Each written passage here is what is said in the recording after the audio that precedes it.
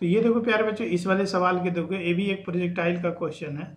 और ये कहता है projectile is thrown with initial velocity भी अगर एक मैं प्रोजेक्टाइल को देखो इनिशियल वेलोसिटी भी से फेंक देता हूँ, यहाँ से मैंने एक प्रोजेक्टाइल को भी वेलोसिटी से फेंक दिया, जिसकी वैल्यू एक्स और वाई एक्सिस में जो वेलोसिटी है वो दिया हुआ तो प्रोजेक्टाइल कुछ ऐसे पैराबोलिक पाथ पे ऐसे कुछ जाएगा।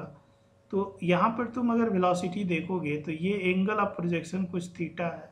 तो इस वेलोसिटी के दो कंपोनेंट होंगे तो एक कंपोनेंट इधर आएगा एक्स एक्सिस में आएगा, उसकी वैल्यू कितनी होगी?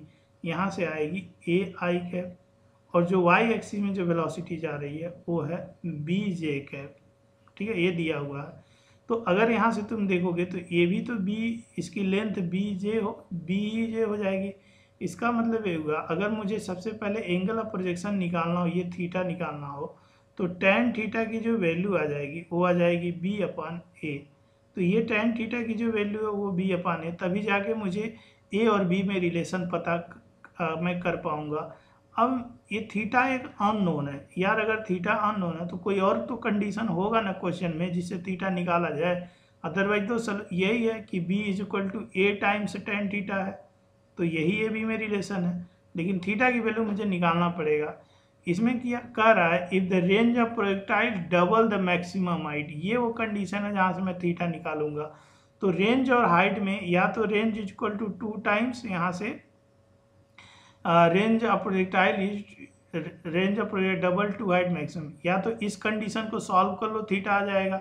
या नहीं तो तुम्हें फार्मूला याद हो कि रेंज जो होता है वो फोर एच कॉट थीटा के इक्वल होता है। ये अगर फार्मूला याद है, बहुत कम लोगों को याद रहता है बहुत कम बच्चों को याद होता है। तो अगर याद है तो इसको इसको डायरेक्ट लगा दो, नहीं तो इस कंडीशन को सॉल्व कर लो। अगर इसको लगा दोगे तो रेंज टू एच है और यहाँ से फोर एच कॉट थीटा आ जाएगा। याद कर लो, मैं रिकमेंड करता हूँ उसको। तो इसका मतलब ये हुआ कि one by two that is यहाँ से कॉट थीटा तो टेन थीटा की वैल्यू कितनी आ जाएगी? टेन थीटा की वैल्यू टू आ जाएगी। मतलब ये आ जाएगा B is equal to two times A आ जाएगा, ठीक है? तो अगर यहाँ से B B is equal to two times A आ जाएगा तो सी ऑप्शन सही हो। नहीं तो फार्मूला याद नहीं है तो ये जो कंडीशन दिया हुआ, उसी को सॉल्व कर लो। यहाँ से थीटा टेन थीटा की वैल्यू आ जाएगी। चलो एक बार ऐसे भी कर देता हूँ।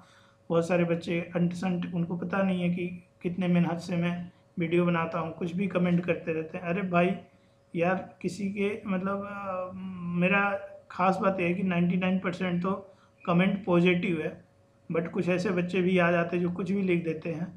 रेंज रेंज जो है वो रेंज का टू यू स्क्वायर यहाँ से साइन थीटा कॉस थीटा और ओवर जी ये रहा रेंज मैक्सिमम हाइट क्या होती है भाई? U square sine square theta sine square theta over two g तो यहाँ से जी ने जी को और यहाँ से तुम देखो यू स्क्वायर ने यू स्क्वायर को तो यहाँ से फोर साइन स्क्वायर थीटा ने एक साइन स्क्वायर थीटा को तो इधर इधर बचा इधर बचा फोर और इधर बचा तुम देखोगे यहाँ से साइन यहाँ से देखोगे साइन थीटा अपन कॉस थीटा मतलब ये आ जाएगा टेन थीटा तो यहाँ से टेन थीटा की जो वैल्यू आ जाएगी टेन थीटा की जो वैल्यू आ जाएगी, वो आ जाएगी फोर तो यहाँ से तुम देखोगे टेन थीटा की वैल्यू अगर यहाँ से फोर आ जाएगी यहाँ से जो है range two e square sine theta और यहाँ से ये टू एक और भी था ना, ये maximum height two times multiply हुआ तो एक टू यहाँ से मल्टीप्लाई होगा तो ये टू डिवाइड होगा तो ये आ जाएगा